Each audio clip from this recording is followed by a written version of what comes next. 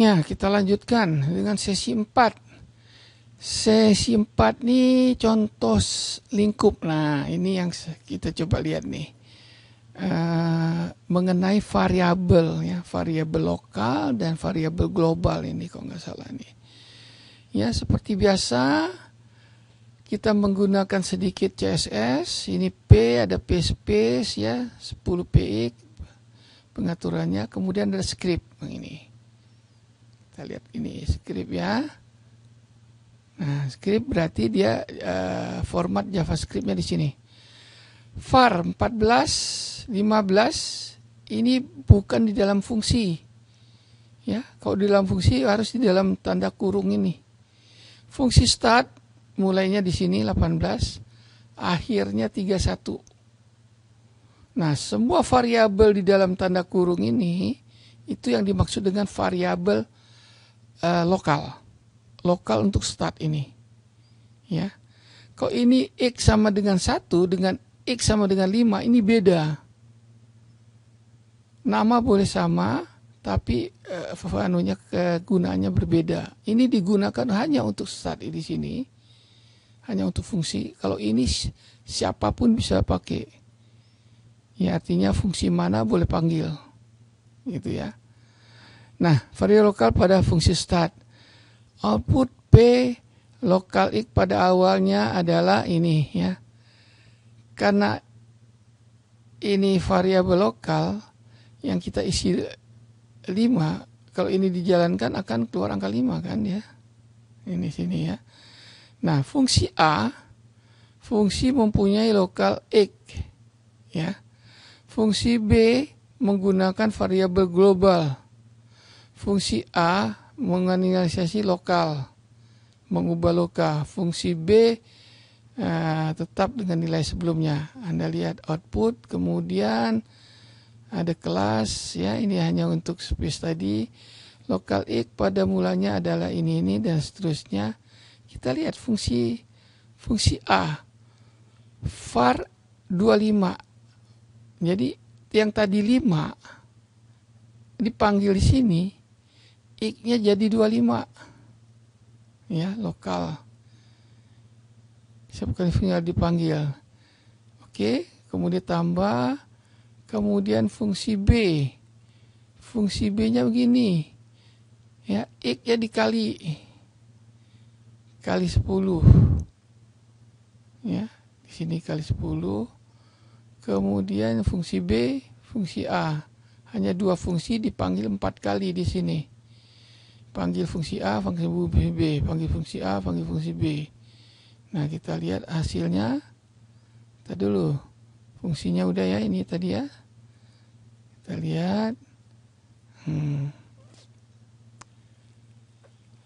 Lokal X pada awalnya 5. Jadi yang tertulis ini. Ya, output ini. Ini pertama kali kan karena dipanggil sih uh, body sini kan? Body load ID result oke kemudian ya lokal ik pada fungsi A adalah 25 setelah masuk ke dalam fungsi A. Benar kan dia diinisiasi? Lokal ik pada fungsi A adalah 26 setelah keluar dari fungsi A. Karena ditambah satu tadi ya Kemudian varia ini B yang global X adalah 1000 pas untuk masuk fungsi B. Kemudian variabel X adalah 1000 karena di 100 dikali 10 tadi kan di B tadi setelah keluar dari fungsi B. Oke. Nah, ini berulang sampai berapa kali ini? Iya. Function start Oke dipanggil.